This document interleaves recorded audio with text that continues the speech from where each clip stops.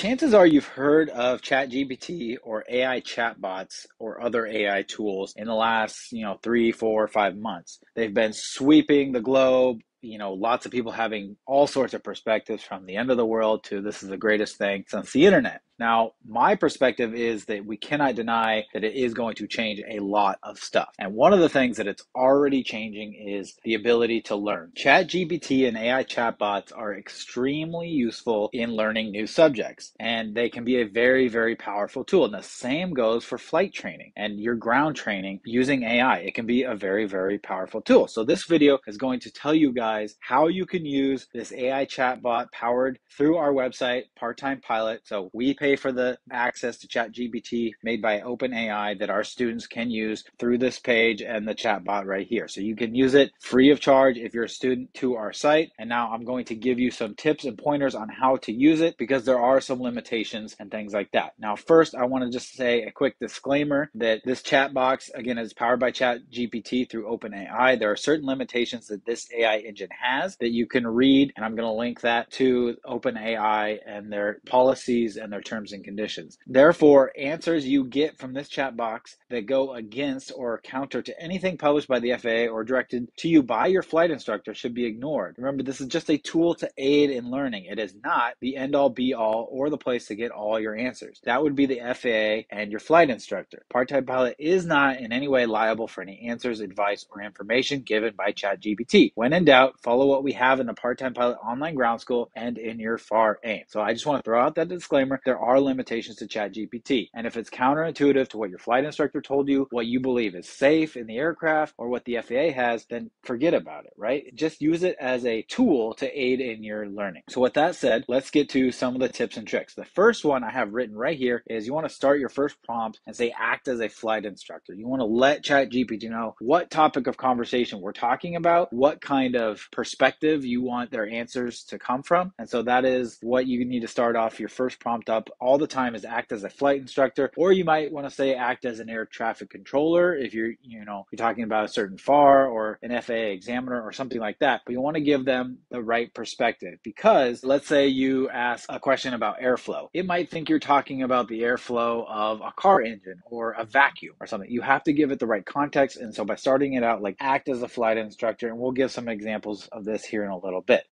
So here I have a question. Act as a flight instructor and explain to me how an aircraft stalls. So we click the send button. It, it's going to take a little bit of time and it depends again how much the chat GPT servers and AI engine is being used. Sometimes it takes longer. But here it says, sure, happy to help. An aircraft stall occurs when the angle of attack of the wings exceeds the critical attack, blah, blah, blah, blah. And it goes on and on some different answers. Now, the next tip I want to give, if these answers are too long or too complex, you can add in things like describe in the simplest terms or explain this to me in three sentences or less.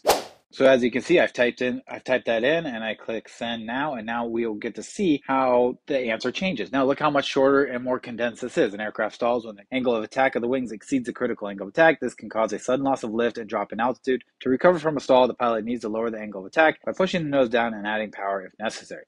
Boom. So it condensed it. That's a simple trick right there. Now, the next trick is that this is like a conversation. So as you continue on, it's going to remember things we talked about. You can refer back to things you talked about and you could say in your last answer, you know, change this or what if it was this? It's like a conversation. That's the whole part of AI. It will remember what it talked about. So let's give an example of that.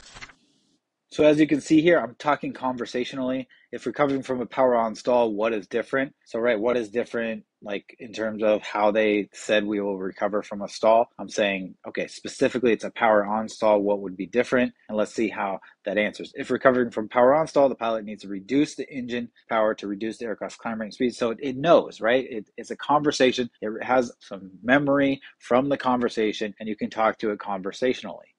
So let's just try some other things. Here, let's say act as an air traffic controller and give me clearance for landing in my aircraft with tail number N2345 on runway 27. Let's see how ChatGPT reacts to this and saying, hey, act as an air traffic controller. Good afternoon, this is air traffic control tower. You are cleared for landing on runway 27. Please proceed with caution and follow all instructions from ground control. Welcome and have a safe landing. Yeah, okay, so maybe this is some limitations that we see here. Your air traffic controller is not going to say good afternoon. It's not going to say welcome and have a safe landing. They might, uh, depending on how busy they are. You know, so it's got some some of it right and some of it wrong. So there are some limitations, and you know maybe some tools such as just liveatc.net stuff like that would be more useful to talking to air traffic control. But let's try something else here. Maybe we can try to see if it gives us some FAA written test questions. So here I've asked, what are some private pilot FAA written test questions on stalls? Let's see how ChatGPT handles this prompt. All right, sure. Here are some possible FAA written test questions related to stalls that a private pilot candidate might encounter. What is a stall? What is the difference between an aerodynamic stall and a structural stall? What are the four main factors? Okay, so it gave us a list, and now let's see. We'll see if we want to know the answer. What is the answer to question three above? The four main factors that affect stall speed are weight, load factor, altitude, and configuration, such as flaps and landing gear position. As weight, load factor, and altitude increase, stall speed also increase. Okay, so this is an accurate answer for question three above, which was what are the four main factors that affect stall speed? So this is a great way to study. You can literally have a conversation with ChatGPT. You can say, what are some FA written test questions on a subject that you're weak on? Let's say it's stalls. And then you can try and answer these 10 questions that it gave you, right? You can maybe write down on a piece of paper. And then when you're done, you can ask, what are the answers? And it'll tell you for each of the questions what the answers are. Fantastic learning tool right there that you can can use and a good way to use ChatGPT effectively. All right, so let's try one more. Let's say we're studying for our check ride. Let's ask ChatGPT to act as a designated pilot examiner and ask us a question about density altitude as if it was in an oral exam. So let's see how ChatGPT handles this one. Sure. Here's a question I might ask you in an oral exam as a DPE. What is density altitude and how does it affect the performance of an aircraft? Please provide a comprehensive answer, including an explanation of the factors that contribute to density altitude and how they impact aircraft operations. This is good, right? This could definitely be useful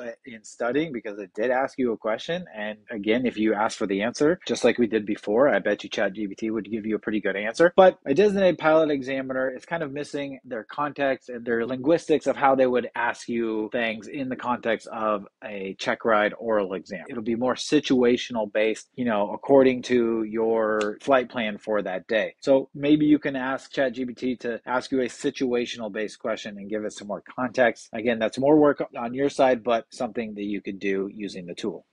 Okay, so that's been a quick tutorial of how to use ChatGPT through our website. Again, we have paid for a subscription for ChatGPT for you guys to use this. I'm going to have a link and it's going to be a pop up on all our lessons. That's the plan. We're going to do a test run to see, you know, how much it costs us, how much you guys like it, if it causes any issues or anything like that. But I think it could be a very, very valuable tool. So once you're in the online ground school, this is just another thing that you'll be able to get. Now, just remember, you know, you want to give it context. You have to give it context. So say act as a flight instructor, and then you can use things you know be specific on how you want it to give your answer you know in three bullet points three sentences as little words as possible whatever or as an example. And then also remember that it has limitations. So you can't trust everything that it says. When in doubt you know trust the faa trust your flight instructor and trust what we have in the online ground school